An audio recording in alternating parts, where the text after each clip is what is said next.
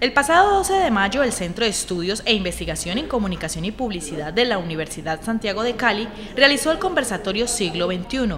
donde presentó los resultados del proyecto de investigación Experiencias colectivas de autorrepresentación cultural a través del uso de tecnologías audiovisuales en Nariño, Cauca y Valle del Cauca. Este proyecto fue apoyado por la Dirección de Cinematografía del Ministerio de Cultura en el marco del Plan Nacional Audiovisual